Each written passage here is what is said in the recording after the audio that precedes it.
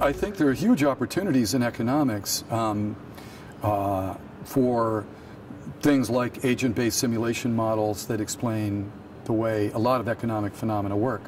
It's a bit of a dangerous game for a junior person to play because uh, if you if you do something that's too far out of the mainstream, you may not be able to get a job and you may not be able to keep playing the game. On the other hand, ultimately, the Nobel Prizes, the real breakthroughs are going to come from the people who step outside of the mainstream, or at least the good ones are. And, you know, you've seen it in um, the success of some, some things in economics. For example, the Nobel Prize to Danny Kahneman reflects the fact that psychology is now taken seriously in economics.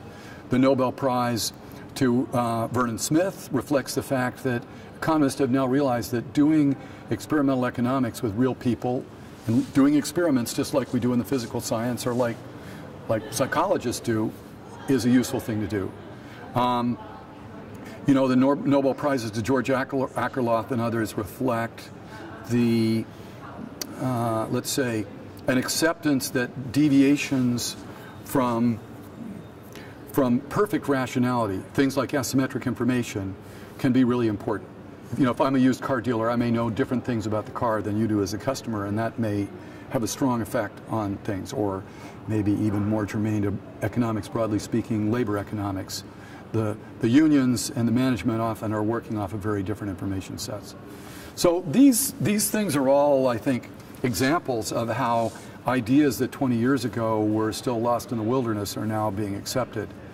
I think the, the young student has to somehow navigate this tricky balance between embracing new things and not just yesterday's new things, the things that are genuinely going to be new, but staying in the club. And I don't know if I have good advice because I've, I've just gone my own way and uh, not paid much attention to being in the club, to be honest.